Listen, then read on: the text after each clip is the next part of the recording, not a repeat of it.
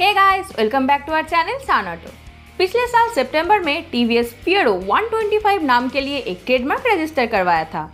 और अब कुछ दिन पहले ही कंपनी ने मीडिया को राइडिंग के लिए इनवाइट भेजा है, एक न्यू मॉडल के लिए, जो 16 सितंबर को लॉन्च होने वाली है।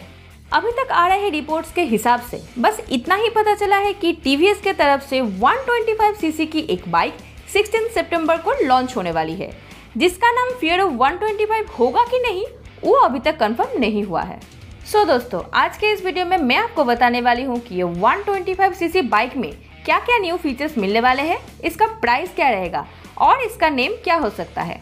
इसीलिए वीडियो को बिना स्किप किए अंत तक ज़रूर देखिए। तो ज़्यादा देरी न करते हुए शुरू करते हैं आज का वीडियो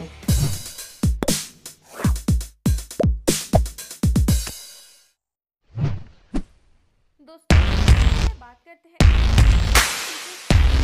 appear a one